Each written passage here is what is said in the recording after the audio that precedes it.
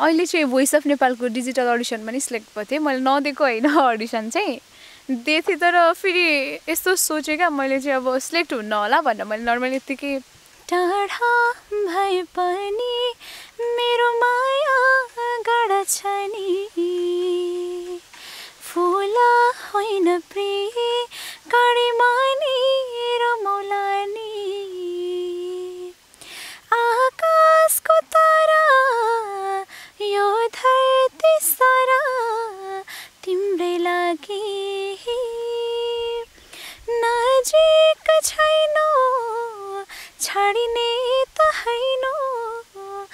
बाटोमै। अनि पछि चाहिँ भाइले मलाई भन्दै थियो के अरे ओए त त भोइस अफ नेपालमा सिलेक्ट भएछस् भनेर सुनाउन आइरहेको तर मलाई विश्वासै लागेन क्या अनि होइन होला। म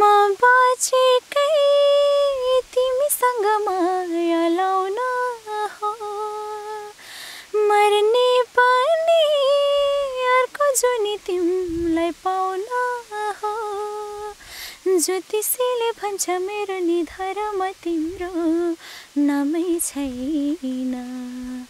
माया गर्ने मुटुले हो निधारले होइन। त्यति बेला ठ्याक्क लकडाउन सकिन साथै नेपाल आइडलको अडिसन स्टार्ट थियो क्या। यस्तो डर लाग्यो गाउनलाई कि यति धेरै त्यो काँपिराखेको थिएँ कि म। खुसी आधा पछौरी आधा बराबरी बडोला पिर बाधा बसको कप्टेरो नमान ठेरो खुसी आधा पछौरी आधा बराबरी बडोला पिर बाधा।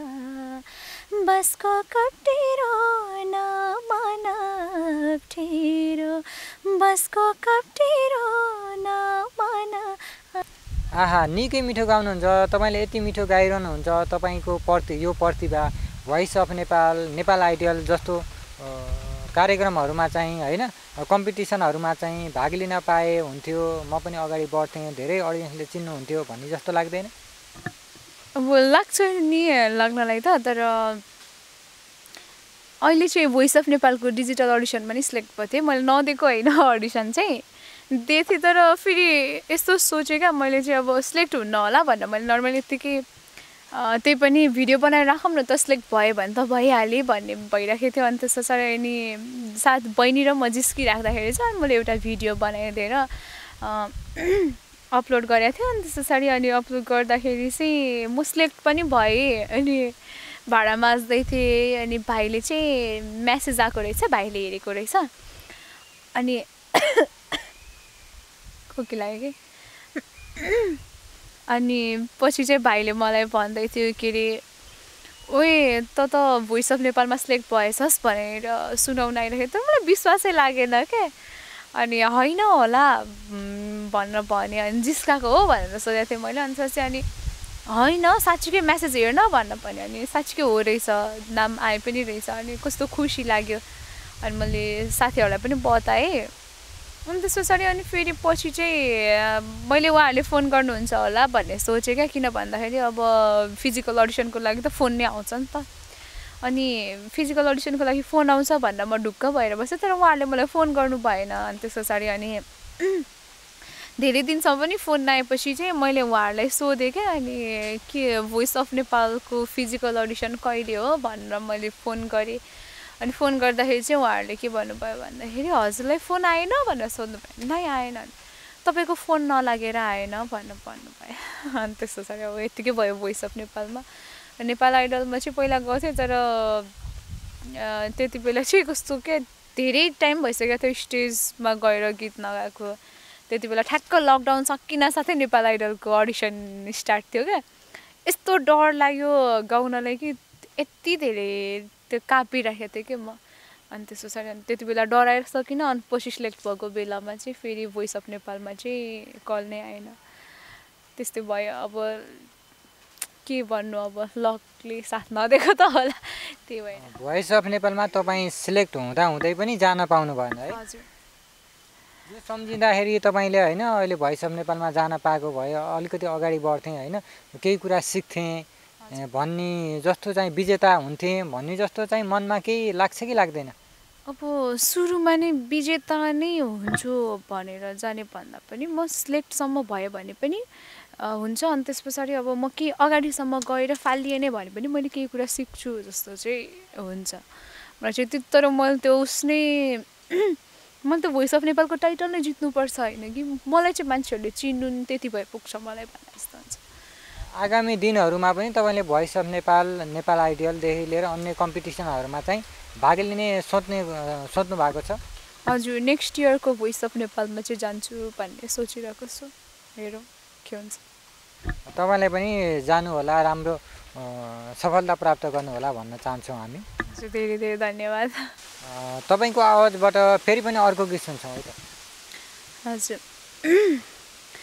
म बाँचेकै तिमीसँग माया लाउन हो। मर्ने पनि अर्को जुनी तिमीलाई पाउन हो। ज्योतिषीले भन्छ मेरो निधारमा तिम्रो नामै छैन। माया गर्ने मुटुले हो निधारले होइन। सुन। माया गर्ने मुटुले हो निधारले होइन। माया गर्ने मुटुले हो निधारले होइन। निकै मिठो गाउनुहुन्छ। तपाईँलाई चाहिँ आफ्नो आवाज चाहिँ कस्तो लाग्छ? मलाई ठिकै लाग्छ एभरेज लोकगीतहरू चाहिँ कतिको सुन्ने गर्नुहुन्छ? दो दोहोरी गीतहरू।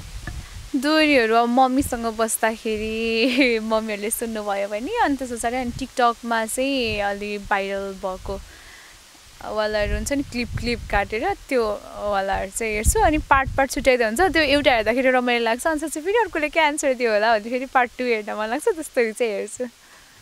तपाईँलाई चाहिँ त्यो दोहोरी हेर्दाखेरि टिकटकमा देखिरहँदा गाउन मन लाग्दैन? दोहोरी यस्तो टुक्का फर्काउन पाए हुन्थ्यो भन्ने चाहिँ तपाईँलाई त्यस्तो लाग्छ कि लाग्दैन? मलाई त्यस्तो चाहिँ लाग्दैन तर सुन्दाखेरि रमाइलो चाहिँ लाग्छ। तर आफूले चाहिँ अहिलेसम्म ट्राई पनि गरेको छैन तर त्यो फर्काउँथ्यो होला जस्तो पनि लाग्दैन। तपाईँलाई चाहिँ हामीले पहिला अपलोड गरेको भिडियोमा धेरै दर्शकहरूले कमेन्ट पनि गर्नुभएको थियो बहिनीको राम्रो आवाज रहेछ एकचोटि इन्द्रेणीमा लानु पर्यो भन्ने जस्तो कुरा पनि गर्नुभएको थियो। त्यो कमेन्ट चाहिँ हेर्नु भएको छ कि? नै छैन। मैले सुरुमा नि इन्टरभ्यू आउन साथ चाहिँ एकचोटि मात्र क्लिपहरू हेरेँ। त्यस पछाडि बहिनीको पनि बिहा भयो मतलब भागेर गयो अनि त्यस पछाडि अनि त्यसको रमझमले गर्दाखेरि अब त्यता नि काम गर्नुपर्ने अनि सबै उस गर्दा गर्दै अनि यत्रो दिनसम्म बिजी बिजी भयौँ। आज बल्ल अलि बिहे सकिएको छ। बहिनीको बिहा भइसक्यो। अब चाहिँ तपाईँले कहिले गर्नु? मेरो अलि बेला भएको छैन र सायद बहिनीले उछिन्या होला मलाई चाहिँ। मेरो के भन्ने अब मनमिल्ने मान्छे पाएको छैन होला सायद त्यही भएर होला। तपाईँलाई चाहिँ मनपर्ने कलाकारहरू चाहिँ कोही हुनुहुन्छ? मनपर्ने कलाकार धेरै मनपर्छ। सबै नै राम्रो हुनुहुन्छ सबै नै मनपर्छ। विशेष गरी यो कलाकारको चाहिँ सुन्छु मलाई चाहिँ अलि राम्रो लाग्छ भन्ने जस्तो हुनुहुन्छ कोही? मलाई चाहिँ के अरे गीत राम्रो भयो भने मलाई सबैको नै सुन्छु। अब मलाई खास गरी मनपर्ने रामजी खाड मनपर्छ प्रकाश सपुत मनपर्छ अब उसमा प्रताप दास एकदम धेरै मनपर्छ रचना रिमालहरू मनपर्छ। प्रायः जसो तपाईँलाई चाहिँ राम्रो लागेको गीतहरू चाहिँ सबै सुन्ने गर्नुहुन्छ। अब सबै नै सुन्छु। अबको क्रममा फेरि अर्को गीत सुन्छ है त।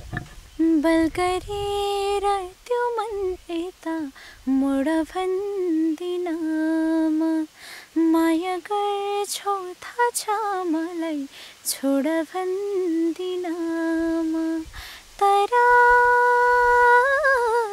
खुसी अन्तै मिल्छ भने तिमीलाई धेरै.